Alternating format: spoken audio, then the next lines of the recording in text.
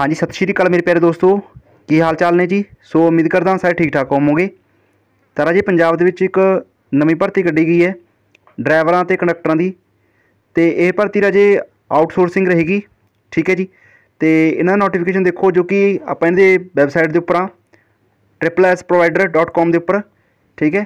ਤੇ ਇਹ ਦੇਖੋ ਪਹਿਲਾਂ ਹੈ ਨੋਟਿਸ ਜੋ ਕਿ ਕੰਡਕਟਰ ਦਾ ਹੈ। ਇਹ ਦੇਖ ਸਕਦੇ ਹੋ ਤੁਸੀਂ ਕੰਡਕਟਰ ਦਾ।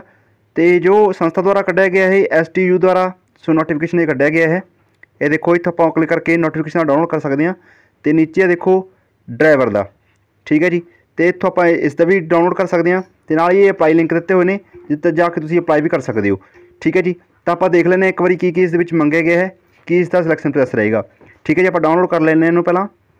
ਤਾਂ ਦੇਖੋ ਰਾਜੀ ਆਪਾਂ ਡਾਊਨਲੋਡ ਕਰ ਲਿਆ ਹੈ। ਸਭ ਤੋਂ ਪਹਿਲਾਂ ਆਪਾਂ ਕਰਦੇ ਹਾਂ, ਸੋ ਜੋ ਕਿ ਕੰਡਕਟਰ ਦੀ ਭਰਤੀ ਹੈ, ਠੀਕ ਹੈ, ਉਸ ਦਾ ਨੋਟਿਸ ਹੈ ਸਭ ਤੋਂ ਪਹਿਲਾਂ।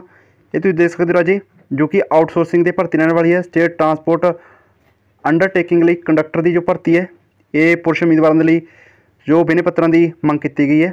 ਠੀਕ ਹੈ ਜੀ, ਇਸ ਦੀ ਪ੍ਰੋਵਾਈਡਰ ਦੀ ਜੋ ਵੈਬਸਾਈਟ ਹੈ, ਇਸ ਤੁਸੀਂ ਜਾ ਕੇ ਵਿਜ਼ਿਟ ਵੀ ਕਰ ਲਿਓ ਜਿਵੇਂ ਤੁਹਾਨੂੰ ਦਿਖਾਈ ਸੀ ਹੁਣ। ਤੇ ਗੱਲ ਕਰੀਏ, ਜੇਕਰ ਯੋਗਤਾ ਦੀ ਆਪਾਂ, ਤਾਂ ਇਸ ਦੇ ਵਿੱਚ ਕੁਆਲੀਫਿਕੇਸ਼ਨ ਜੋ ਮੰਗੀ ਗਈ ਹੈ ਰਾਜੇ, ਉਹ ਕੁਆਲੀਫਿਕੇਸ਼ਨ ਦੇਖੋ, ਇਸ ਦੇ ਵਿੱਚ ਮੈਟ੍ਰਿਕ ਮੰਗੀ ਗਈ ਹੈ, ਤਾਂ 10ਵੀਂ ਪਾਸ ਸੈਕੰਡ ਡਿਵੀਜ਼ਨ ਦੇ ਵਿੱਚ ਹੋਵੇ ਠੀਕ ਹੈ, ਤਾਂ ਘੱਟੋ ਘੱਟ 12ਵੀਂ ਪਾਸ ਜਾਂ ਕਿਸੇ ਵੀ ਆਪਣੇ ਕਿਸੇ ਬੋਰਡ ਯੂਨੀਵਰਸਿਟੀ ਪਾਸ ਕੀਤੀ ਹੋਵੇ ਤਾਂ ਤੁਸੀਂ ਅਪਲਾਈ ਕਰ ਸਕੋਗੇ। ਨਾਲ ਹੀ ਦੇਖੋ, ਇਸ ਦੇ ਵਿੱਚ ਕੀ ਮੰਗਿਆ ਸੈਕੰਡ ਨੰਬਰ ਤੇ ਹੈ। ਉਮੀਦਵਾਰ ਵੱਲੋਂ ਮੈਟ੍ਰਿਕ ਪੰਜਾਬੀ ਵਿਸ਼ੇ ਨਾਲ ਪਾਸ ਕੀਤੀ ਲਾਜ਼ਮੀ ਹੋਵੇ। ਥਰਡ ਨੰਬਰ ਤੇ ਹੈ। ਵਿਨੇ ਪੱਤਰ ਪੇਸ਼ ਕਰਨ ਦੀ ਆਖਰੀ ਮਿਤੀ ਨੂੰ ਉਮੀਦਵਾਰ ਕੋਲ ਕੰਡਕਟਰੀ ਲਾਇਸੈਂਸ ਲਾਜ਼ਮੀ ਹੋਵੇ। ਠੀਕ ਹੈ ਜੀ? ਲਾਇਸੈਂਸ ਇਸ ਦੇ ਵਿੱਚ ਲਾਜ਼ਮੀ ਮੰਗੇ ਗਏ। ਹੈ। ਤੇ ਥਰਡ ਨੰਬਰ ਤੇ ਇਸ ਦੇ ਵਿੱਚ ਰੱਖਦਾ ਜੇ ਏਜ ਮੰਗੀ ਗਈ ਹੈ 18 ਸਾਲ ਤੋਂ ਲੈ ਕੇ 37 ਸਾਲ ਤੱਕ ਦੇ ਕੈਂਡੀਡੇਟ ਜੋ ਅਪਲਾਈ ਕਰ ਸਕਣਗੇ। ਠੀਕ ਹੈ? ਬਾਕੀ ਗਵਰਨਮੈਂਟ ਦੇ ਰੂਲ ਦੇ ਮੁਤਾਬਿਕ ਇਸ ਦੇ ਵਿੱਚ ਛੋਟ ਵੀ ਦਿੱਤੀ ਜਾਵੇਗੀ ਇਸ ਦੇ ਵਿੱਚ। ਠੀਕ ਹੈ ਜੀ? ਤੇ ਗੱਲ ਕਰੀਏ ਰਾਜੇ ਹੁਣ ਦੇਖੋ ਇਸ ਦੀ ਜੋ ਚੋਣ ਵਿਧੀ ਰਹੇਗੀ ਯਾਨੀ ਕਿ ਸਿਲੈਕਸ਼ਨ ਪ੍ਰੋਸੈਸ ਕਿਵੇਂ ਰਹੇਗਾ, ਕਿਉਂਕਿ ਇਸ ਦੇ ਵਿੱਚ ਦੇਖੋ ਸਿੱਧੀ ਮੈਟ ਬੇਸਿਸ ਭਰਤੀ ਰਹਿਣ ਵਾਲੀ ਹੈ ਇਹ, ਠੀਕ ਹੈ, ਇਸ ਦੇ ਵਿੱਚ ਨੰਬਰ ਲੱਗਣਗੇ ਦੇਖੋ, ਜੋ ਕਿ ਰਾਜੇ ਉਮੀਦਵਾਰ ਦੀ ਚੋਣ ਹੈ, ਉਹ 10ਵੀਂ ਜਾਂ 12ਵੀਂ ਜਮਾਤ ਦੇ ਵਿੱਚੋਂ ਪ੍ਰਾਪਤ ਕੀਤੇ ਗਏ ਅੰਕਾਂ ਦੇ ਆਧਾਰ ਤੇ ਕੀਤੀ ਜਾਵੇਗੀ, ਜੋ ਕਿ 45% ਤੋਂ ਉੱਪਰ ਹੋਵੇ, ਠੀਕ ਹੈ ਘੱਟੋ ਘੱਟ 45% ਅੰਕ ਹੋਣਾ, ਕਿਉਂਕਿ ਇੱਥੋਂ ਮੈਟ ਸਟਾਰਟ ਹੋਵੇਗੀ ਜਿਹੜੇ ਕਿ ਅੰਕ ਦਿੱਤੇ ਜਾਣਗੇ। ਜਿਵੇਂ ਕਿਸੇ ਉਮੀਦਵਾਰ ਦੇ 10ਵੀਂ ਜਮਾਤ ਦੇ ਵਿੱਚੋਂ 46% ਅੰਕ ਨੇ, ਤਾਂ ਉਸ ਨੂੰ ਇੱਕ ਮੈਟ ਪੁਆਇੰਟ ਦਿੱਤਾ ਜਾਵੇਗਾ, ਜੇਕਰ ਕਿਸੇ ਉਮੀਦਵਾਰ ਦੇ 70% ਅੰਕ ਨੇ ਤਾਂ 25 ਮੈਟ ਪੁਆਇੰਟ ਦਿੱਤੇ ਜਾਣਗੇ। ਯਾਨੀ ਕਿ 25 ਪੁਆਇੰਟ ਨੇ ਦਿੱਤੇ ਜਾਣਗੇ, ਜਿਵੇਂ 70 ਜਿਵੇਂ ਆਪਾਂ ਗਣ ਲਈਏ ਦੇਖੋ 45 ਤੋਂ ਬਾਅਦ 70 ਤੱਕ ਕਿੰਨੇ ਬਣ ਬਣਗੇ 25 ਗਏ ਤਾਂ 25 ਪੁਆਇੰਟ ਦਿੱਤੇ ਜਾਣਗੇ। ਠੀਕ ਹੈ ਜੀ, ਸੋ ਇਸ ਤਰ੍ਹਾਂ ਨੰਬਰ ਦਿੱਤੇ ਜਾਣਗੇ, ਜਿਹੜੀ ਕਿ ਮੈਟ ਲਿਸਟ ਹੈ ਇਹ ਇਹ ਬਣਾਈ ਜਾਵੇਗੀ। ਠੀਕ ਹੈ ਜੀ, ਤੇ ਵੈਬਸਾਈਟ ਦੇ ਉੱਪਰ ਦਰਸਾਈ ਜਾਵੇਗੀ, ਉਸ ਤੋਂ ਬਾਅਦ ਉੱਪਰ ਅਪਲੋਡ ਕੀਤੀ ਜਾਵੇਗੀ। ਤੇ ਉਮੀਦਵਾਰਾਂ ਵੱਲੋਂ ਜਿਸ ਵੀ ਜਮਾਤ ਵਿੱਚ ਵਧੇਰੇ ਅੰਕ ਪ੍ਰਾਪਤ ਹੋਣਗੇ, ਉਸ ਦੀ ਮੈਟ ਕੈਲਕੂਲੇਸ਼ਨ ਉਸ ਹਿਸਾਬ ਨਾਲ ਹੋਈ ਹੋਵੇਗੀ। ਠੀਕ ਹੈ ਜੀ, ਤਾਂ ਇਹ ਧਿਆਨ ਰੱਖਿਓ ਰਾਜੇ। ਇਸ ਦੇ ਵਿੱਚ ਇਹ ਇਸ ਤਰ੍ਹਾਂ ਕੈਲਕੂਲੇਸ਼ਨ ਜੋ ਕੀਤੀ ਜਾਵੇਗੀ। ਦੇਖੋ, ਇਸ ਦੇ ਵਿੱਚ ਹੋਰ ਖਾਸ ਕਿਆ ਗੱਲ ਕੀ ਧਿਆਨ ਰੱਖੀ ਗਈ ਹੈ? ਇਸ ਦੇ ਵਿੱਚ ਆ ਦੇਖੋ ਵੀ ਜੇਕਰ ਤੁਹਾਡੇ ਜੋ ਪਰਸੈਂਟੇਜ ਨੰਬਰ ਨੇ, ਠੀਕ ਹੈ, ਉਹ ਅਗਲੇ ਦੋ ਨੰਬਰ ਤੱਕ ਤੁਸੀਂ ਲਿਖਣੇ ਲਾਜ਼ਮੀ ਨੇ, ਜਿਵੇਂ ਕਿ ਉਦਾਹਰਣ ਵਿੱਚ ਦੱਸਿਆ ਇਹਨਾਂ ਨੇ, ਦੇਖੋ 46% ਨੰਬਰ ਨੇ, ਤਾਂ 46.00 ਲਿਖਣਾ ਹੈ। ਕਈ ਵਾਰ ਕਿਸੇ ਬੱਚੇ ਨੰਬਰ ਦੇਖੋ 46.40 ਹੁੰਦੇ ਨੇ, ਤਾਂ ਉਹ ਵੱਧ ਸਕਦੇ ਨੇ ਇਸ ਤਰ੍ਹਾਂ ਨੰਬਰ ਇਹ, ਤਾਂ ਵੀ ਦੋ ਅੱਗੇ ਜਿਹੜੇ ਪੁਆਇੰਟਾਂ ਤੋਂ ਗਾਹਾਂ ਦੋ ਪੁਆਇੰਟ ਨੰਬਰ ਹੋਣਗੇ, ਉਹ ਵੀ ਲਿਖਣੇ ਲਾਜ਼ਮੀ ਨੇ, ਠੀਕ ਹੈ? ਤੇ ਇਹ ਬਾਕੀ ਤੁਸੀਂ ਦੇਖ ਸਕਦੇ ਹੋ ਨਿਯੁਕਤੀ ਦਾ ਸਥਾਨ ਦਿੱਤਾ ਇਸ ਦੇ ਵਿੱਚ, ਠੀਕ ਹੈ ਜੀ? ਇਹ ਸਾਰਾ ਤੁਸੀਂ ਦੇਖ ਸਕਦੇ ਹੋ, ਜ਼ਰੂਰੀ ਹਦਾਇਤਾਂ ਇਸ ਦੇ ਵਿੱਚ ਦਿੱਤੀਆਂ ਗਈਆਂ ਨੇ। ਤਾਂ ਦੇਖੋ ਰਾਜੇ, ਇਸ ਤੇ ਸੋ ਅਪਲਾਈ ਕਰਨ ਦੀ ਵੀ ਦੱਸੀ ਗਈ ਸਾਰੀ ਹੀ, ਜਿਸ ਤੇ ਆਫੀਸ਼ੀਅਲ ਵੈਬਸਾਈਟ ਦੇ ਉੱਪਰ ਤੁਸੀਂ ਵਿਜ਼ਿਟ ਕਰੋਗੇ। ਠੀਕ ਹੈ ਜੀ ਅਪਲਾਈ ਨਾਮ ਤੋਂ ਜਾਓਗੇ ਤਾਂ ਮੋਬਾਈਲ ਨੰਬਰ ਭਰਨਾ ਜ਼ਰੂਰੀ ਹੋਵੇਗਾ। ਠੀਕ ਹੈ ਜੀ, ਨਾਲ ਹੀ ਮਤਲਬ ਕਿ ਦੱਸਿਆ ਗਿਆ ਵੀ ਮੋਬਾਈਲ ਨੰਬਰ ਕਿਸੇ ਵੀ ਕਾਰਨ ਬਦਲਿਆ ਨਹੀਂ ਜਾਣਾ ਚਾਹੀਦਾ। ਠੀਕ ਹੈ, ਉਹੀ ਨੰਬਰ ਰਹੇਗਾ ਤੁਹਾਡਾ। ਤੇ ਨਾਲ ਇਸ ਦੇ ਵਿੱਚ ਫੀਸ ਦੱਸੀ ਗਈ ਹੈ, ਜੋ ਕਿ ਤੁਸੀਂ ਸਕਰੀਨ ਉੱਪਰ ਜਾਓਗੇ ਤਾਂ 100 ਰੁਪਏ plus GST plus transaction charge ਹੈ ਉਸ ਦੇ ਵਿੱਚ ਭਰਨੀ ਲਾਜ਼ਮੀ ਹੋਵੇਗੀ। ਠੀਕ ਹੈ 100 ਰੁਪਏ ਦਾ ਫੀਸ ਲੱਗੇਗੀ ਲੱਗੇਗੀ ਨਾਲ GST ਹੈ ਪਲੱਸ ਟ੍ਰਾਂਜੈਕਸ਼ਨ ਫੀਸ ਜਿਹੜੀ ਉਹ ਵੀ ਲੱਗੇਗੀ।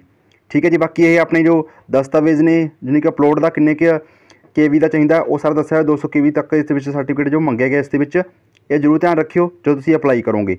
ਠੀਕ ਹੈ ਜੀ, ਸੋ ਜ਼ਰੂਰੀ ਗੱਲਾਂ ਸੀ ਜਿਹੜੀਆਂ ਆਪਾਂ ਨੇ ਪੜ੍ਹ ਲਈਆਂ ਨੇ, ਤੇ ਹੁਣ ਦੂਸਰੀ ਪਾਰਟ ਦੇਖ ਲੈਂਦੇ ਆਪਾਂ।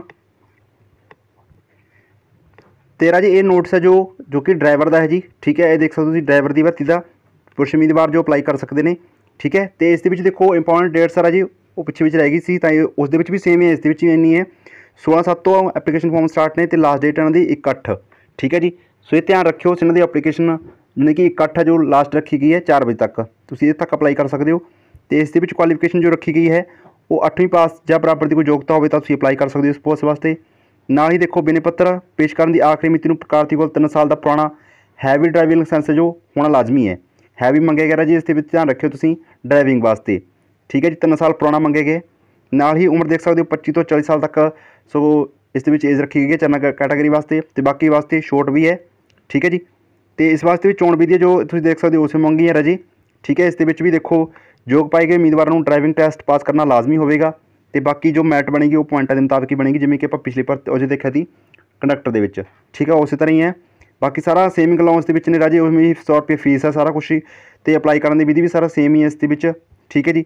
ਬਾਕੀ ਇਸ ਵਿੱਚ ਕੋਈ ਖਾਸ ਗੱਲ ਨਹੀਂ ਹੈ, ਪਿਛਲੇ ਵਾਂਗੂ ਹੀ ਹੈ ਠੀਕ ਹੈ। ਬਸ ਇਸ ਦੇ ਵਿੱਚ ਕੁਆਲੀਫਿਕੇਸ਼ਨ ਕੱਲੀ 8ਵੀਂ ਮੰਗੀ ਗਈ ਇਸ ਦੇ ਵਿੱਚ ਬਾਕੀ ਸੇਮ ਹੀ ਰਹੇਗਾ, ਇਸ ਦਾ ਵੀ ਸਿਲੈਕਸ਼ਨ ਪ੍ਰੋਸੈਸ ਠੀਕ ਹੈ ਜੀ ਆਈ ਹੋਪ ਤੁਹਾਨੂੰ ਇਹ ਵੀਡੀਓ ਵਧੀਆ ਲੱਗੀ ਹੋਵੇਗੀ ਤੇ ਇਸ ਵੀਡੀਓ ਨੂੰ ਆਪਣੇ ਦੋਸਤਾਂ ਨਾਲ ਵੱਧ ਤੋਂ ਵੱਧ ਸ਼ੇਅਰ ਕਰਿਓ ਰਾਜੀ। ਠੀਕ ਹੈ ਜੀ, ਜੇ ਕੋਈ ਡਾਊਟ ਹੈ ਤਾਂ ਕਮੈਂਟ ਬਾਕਸ ਵਿੱਚ ਦੱਸ ਦਿਓ। ਤੇ ਇਸ ਵੀਡੀਓ ਨੂੰ ਵੱਧ ਤੋਂ ਵੱਧ ਲਾਈਕ ਕਰਿਓ ਜੀ ਤੇ ਚੈਨਲ ਨਾਲ ਜਿਹੜੇ ਚੈਨਲ ਸਬਸਕ੍ਰਾਈਬ ਕਰਕੇ ਨਾਲ ਵਾਲੇ ਵਾਲੇ ਆਈਕਨ ਨੂੰ ਪ੍ਰੈਸ ਕਰ ਲਿਓ। ਠੀਕ ਹੈ, ਸੋ ਇਸ ਤਰ੍ਹਾਂ ਦੀਆਂ ਬਿਹਤਰੀਨ ਵੀਡੀਓ ਤੁਹਾਡੇ ਲਈ ਲੈ ਕੇ ਆਉਂਦੇ ਰਹਿੰਦੇ ਹਾਂ। ਸੋ ਮਿਲਦੇ ਹਾਂ ਨੈਕਸਟ ਟਾਈਮ ਨੈਕਸਟ ਵੀਡੀਓ ਵਿੱਚ। ਤਦ ਲਈ okay thank you thanks for watching